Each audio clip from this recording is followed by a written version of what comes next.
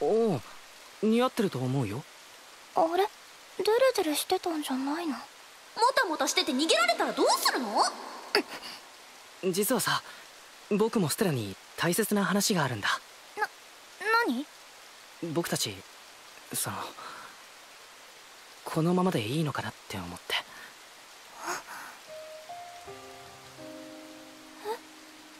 ずっと考えてたんだ僕たちこの2週間全然恋人らしいことをしてないだろう。だからつまりその。そうか。もう逃げられてたんだ。イキの心は特に私からもたもたしてたから。だからこれからの2人のことについて話し合いたくて。そそうよね。私も本当はそう思ってたの。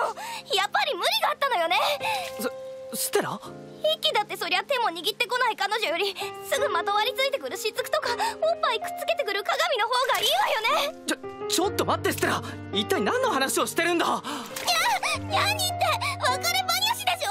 なちょっと落ち着いて。触らない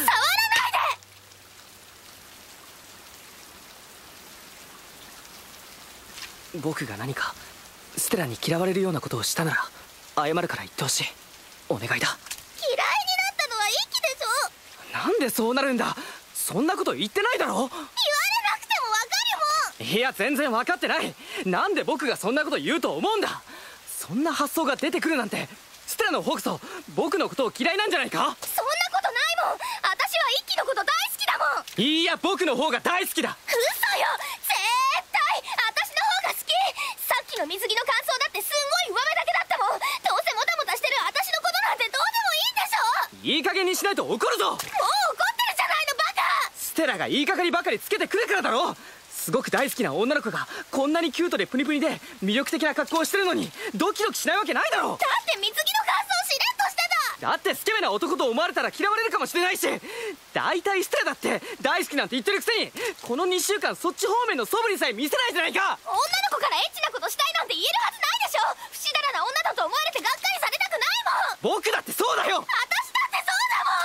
あなんで僕らはこんな喧嘩してるのさ！知らないわよそんなこ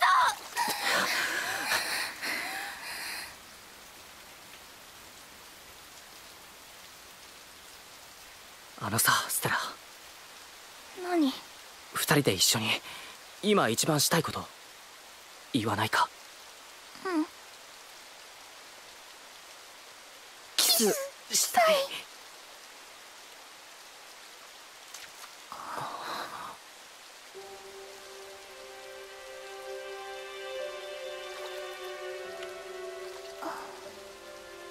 えイキ。